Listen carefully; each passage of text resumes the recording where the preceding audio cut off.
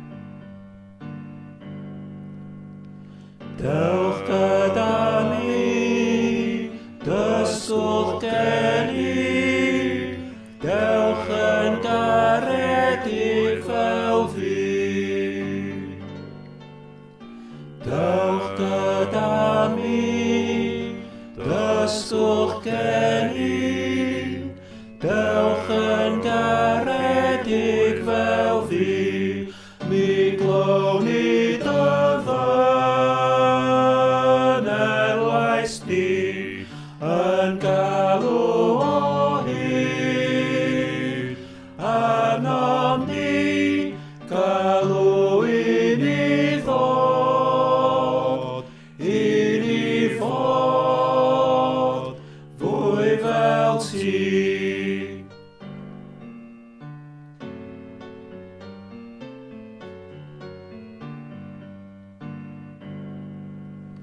thou ata i, dysgwch geni, dewch yn ddisgyblion i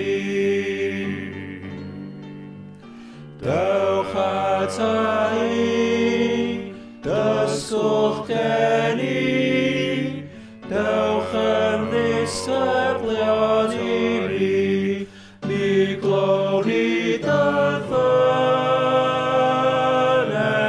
Christ ni, yn galw o hyd, arnom ni, galw i ni ddod, i ni fod, fwy fel ti.